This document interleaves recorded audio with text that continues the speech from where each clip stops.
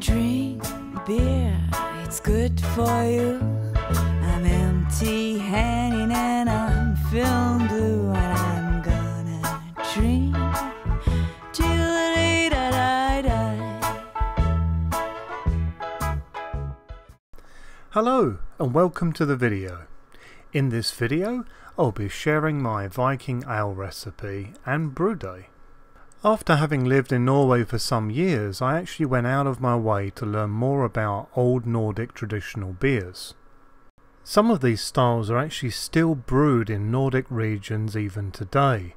Unfortunately they're not actually very popular anymore though. When inquiring about these styles I found that in actual fact most people found that they really did not enjoy certain aspects of these beers and really favour beer styles that originate from other parts of Europe.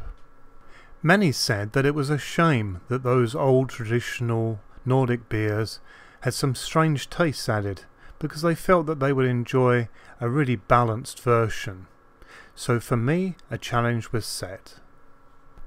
I decided that as traditions are really something that are very important, it would be fantastic to brew a beer that combined all of the best parts of these styles and leave out the parts that people really disliked. I had a lot of fun formulating this recipe. After some trial runs and tweaking, I had a beer that most people seem to really enjoy, and this is the beer that I present for you here today. It has a nice range of flavour notes from the malt and the juniper with a nice smoky background. Most people tell me that it is complex and flavourful and interestingly different from beers they have tasted before. So let's have a quick look at the recipe now then. You will find this recipe in a couple of places. First and foremost you'll find the full recipe in the YouTube description and secondly you'll find it on the grainfather.com website under the recipe tools. I would suggest instead of actually searching for this recipe by name, it's actually far quicker to search for my name, which is David Heath, and then you'll see my recipes that are on there in the database. As always, if there's anything you're not sure about, then please do not hesitate to contact me. This is no problem at all. Alright, so let's get on to the brew then. So first things first, let's have a quick look at the grain crush that I have here. Please note that the kernels on my grains are not smashed to smithereens, but at the same time we have plenty of the good old white stuff. This is the sort of crush that you want, and I'd recommend a gap of credit card sized. If you're not actually milling your own grain and you're having a homebrew store do it for you, then be very very specific with the sort of crush that you want and do this every time. That way you will have the same type of grain crush or every time and thus you will have repeatability if you keep going with the good practices that I'm showing here. What I would recommend you do is find some sort of tool that you can use to add grain at about a kilo at a time and make sure you give it a thorough stir as you go. Also note that I'm adding the grain as evenly into the mash tun as I can and this is something that will help you. You really don't want any grain clumps within your mash. Naturally a good part of actually avoiding grain clumps is actually making sure that you give everything a really thorough stir. And towards the end of your mash when you have much more grain within the mash tun, you're going to need to start breaking it up from the top and giving it a really good working around. This way you'll avoid any further problems. You'll also notice that as the, the mash actually gets thicker, you're going to need to start stirring it from not only the top but the middle and bottom also. So I'm now towards the end of this actual doughing in process as it's known and you'll notice that I'm doing a lot more breaking up of the grain here now and really just finalizing the whole thing and I realize that this may appear that it takes a fair amount of time and actually it does. And it's very important that you give this part of the process due attention. Because like your grain crush if you don't get this part right then it's going to impact the rest of your brew no matter what you do. Okay, so now that's all finally done, it's now time to start the mash and the Grainfather has selected the first mash step in this recipe. While that's going on, I organise everything else that's needed for the brew, and that starts off with organising my sparge water. There aren't actually many additions during the boil for this one, but I set them out in a good order anyway, because that's just how I like it. Going left to right we have our hop addition, which is just one in this case. We also have our yeast nutrient and Irish moss, and then at 5 minutes we have those all important juniper berries, and then on the far right you can see I've got my yeast. Personally, because this is a Viking Ale recipe, I'm going to be using Kveik yeast for it. And I've actually got a Framgarden strain here that I've recultured that's just come out of the fridge and I'm letting it get up to room temperature ready for putting into my wort later on. Hops wise, I'd certainly recommend that you can substitute what I've used here, but certainly only use noble hops. We don't want anything extremely strong like American hops because they will override this brew and that's not really what this is about. This is about complex flavours of malt and juniper. Yeast wise, for those of you that don't have access to Kveik yeast, which frankly is a shame if you don't, it's very easy to obtain on the Facebook forum. But what you can do is you can use strains like Liberty Bell or one of the drier strains like uh, M44 West Coast Ale. In order to contribute to some of the complexity in this beer, I've actually opted for three mash steps. And this is very, very good practice. And you'll notice that we've gone about 10 minutes over what we would normally do for mash in.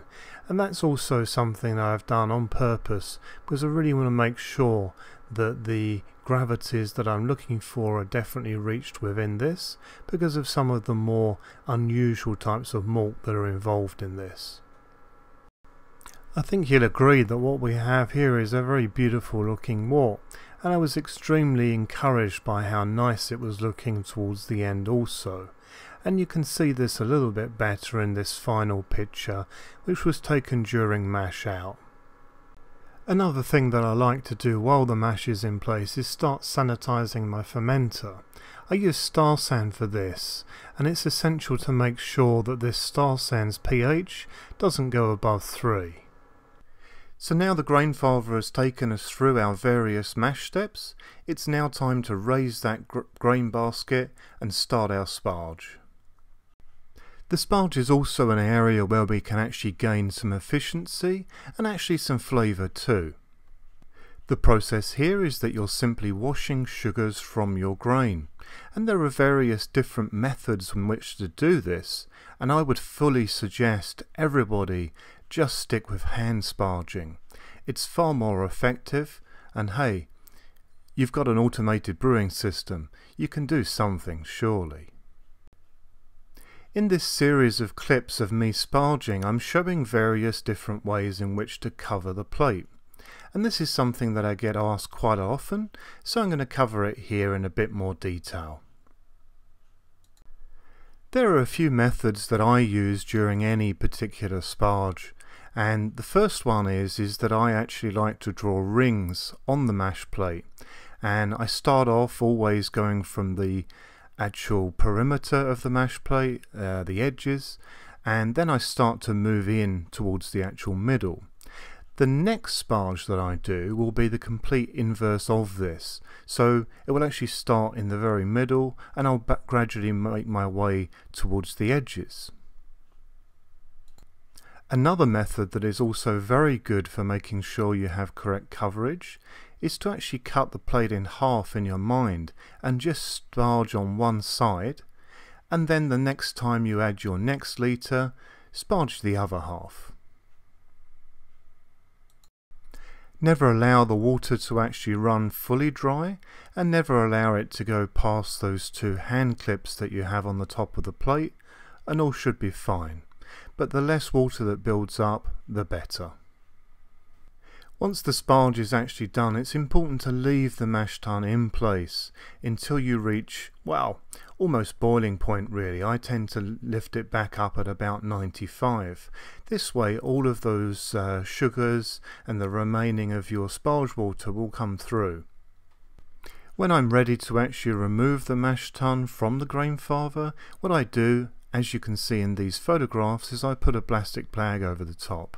And the reason for this is that I want to flip this into a bucket and have all of the grain in a bag. It just makes life so much easier and hey, anything that's easy is good for me. So we're now actually almost at the boil and one thing that I really enjoy about these small batches is it's a very very quick little brew to do.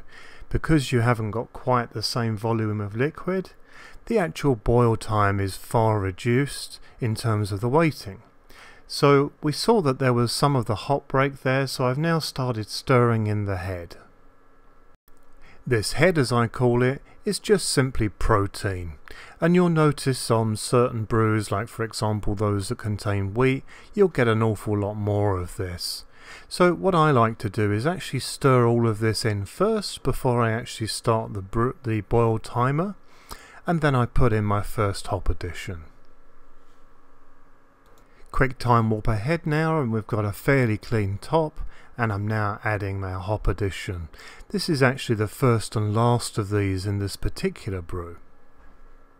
It's important to spend a little bit of time actually just uh, skimming the top of the head here just to make sure that those hops are assigned into the actual brew itself. As the 60 minute boil of this brew actually progresses, you'll notice that little bits of protein will start accumulating again. Give those a stir in as you did at the very start. And also one thing that you really must do, and you know, this isn't a high protein grist, but still do it, is give that bottom plate a nice scrape. This will stop any deposits accumulating and triggering off the protection of this system and we really don't want that. Of course then we would need to flick the switch at the bottom and basically uh, continue. What I then do is I actually pause the boil timer and I set up the counterflow chiller and I use my boiling hot water to sterilize it. I then wait for the system to get back up to the boil which in my case because my sea level is 99 degrees C and I then restart the timer. Our actual late addition in this brew, and it's one of the most important parts of the flavour of this particular style, is to use juniper berries. And it's important to realise that these are never something that you want to crush and then add to your brew. This will literally impart way too much flavour and take over the entire taste of the beer, and we certainly don't want that. Before adding our juniper berries though we mustn't forget to add our Irish moss which I'm adding in here now and also our yeast nutrient. As you probably notice I'm not using a spoon, to be quite honest I didn't have one to hand and I'm quite happy to add them as I showed you there. After adding both of these which were within a minute of each other I then gave the whole thing a nice little stir up and then at 5 minutes to the end, in go our whole juniper berries. And I gotta tell you, one thing I really like about brewing these types of beers is the smells that come off of that. Oh yeah, it's so nice. Now what I would suggest at this stage is to actually give these a bit of an extended stir. You don't want to be stirring so heavily that you're losing temperature, but enough that you're making sure all of these berries are getting in with this wort. Then as soon as the timer hit zero it was time for a 5 minute whirlpool, followed by a 5 minute stand before I started the chilling phase. Here's a quick look at how I do that. You can see that I have a hook which is actually on the ceiling where I have a rubber strap that comes down and I put the wort out hose onto this and then into the conical fermenter. This means I get lots of nice oxygen hitting my wort which really keeps the yeast nice and happy. Once my wort was all transferred into the conical fermenter, I then pitched my liquid yeast. I was really happy to see that I actually got exactly the gravity I was aiming for, despite having a bit more um, wort in my fermenter, so that's always nice to see. I was also very very happy with the colour and clarity that I had in this wort already, so that's always a good thing to see at this stage also. So here was the scene soon after the brew and um, this yeast I'm actually going to ferment at 30 degrees C so the conical fermenter has got a little bit of work to do ahead of it just to raise it up by 2 degrees but that won't be a problem at all. Within two hours of pitching this yeast a very vigorous fermentation started. Early the next morning it had dropped 22 points of gravity. You gotta love Kveik yeast. Not only is it a fast worker when it comes to the fermentation, it tastes conditioned as soon as you start to bottle it. I couldn't really be happier with these strains and use them for most of my brews these days. I do hope that you all enjoyed this video. I certainly had a lot of fun making the video and of course doing the brew. So if you did like this video then please do go ahead and like it on YouTube. This really helps me out and allows the videos to be seen by a wider audience on YouTube. I've got a lot of videos in the pipeline for the future so if you're interested in uh, seeing what I've got coming up then please subscribe for future content. If you have any questions on anything that I've covered in this video or in others or anything to do with brewing in general then please do not hesitate to get in touch. I'm more than happy to help. Until then, happy brewing!